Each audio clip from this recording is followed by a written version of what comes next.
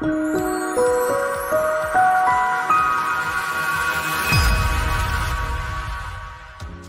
newest hope to beat the traffic.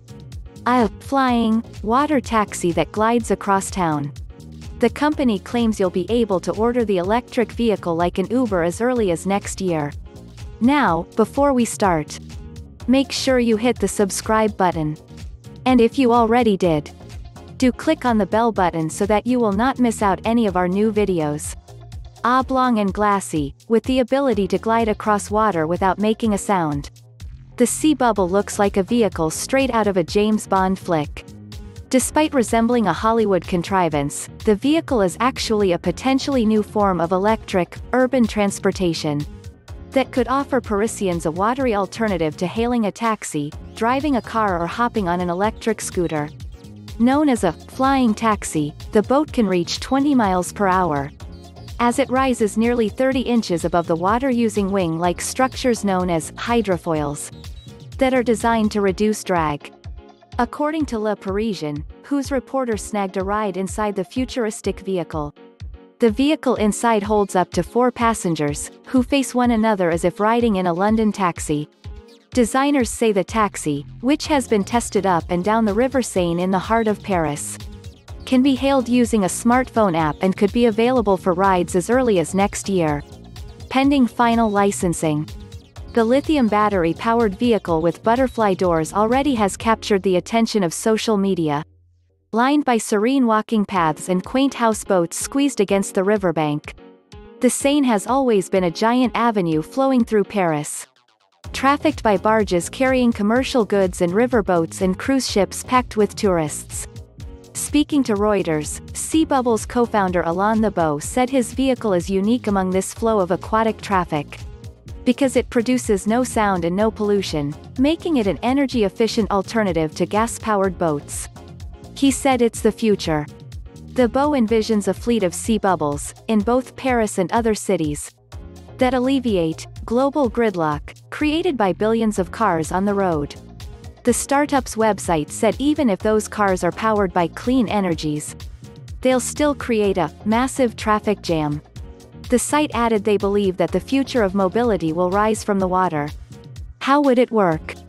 According to a description on the company's website, which notes that the interior was modeled after automobile interiors. After ordering a ride, passengers would enter the vehicle with the help of a hostess and take their seats inside the sea bubble. After securing the doors and leaving the dock, the boat begins, flying, above the water at 7.5 miles per hour using its foils. Preventing any seasickness, sudden movements or rolling waves. Foils, which have been around for decades and are not unlike small aircraft wings for the water, can be attached to a boat's hull, allowing the vehicle to skim above the water with less resistance and at higher speed. The site added once the ride is over, the bubble slowly comes back to the water level to reach the dock.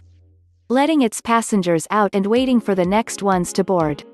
In five years, Sea Bubbles which were conceived as being halfway between a boat and a plane. Ambitiously plans for the company to be in 50 cities around the globe. Thebault told Le Parisien that his company is already fielding questions about the vehicle from luxury hotels and multiple municipalities none of which were named. The price, about $150,000 each, the paper reported. An electric water taxi might someday compete with similar hybrid machines that are envisioned to crisscross cities from above. For several years now, a handful of companies have been jockeying to be the first to deliver an on-demand air taxi service. Earlier this year, Lilium, a Munich-based startup founded in 2015, unveiled an electric, five-seat air taxi prototype. That it claims uses the same amount of electricity as an electric car.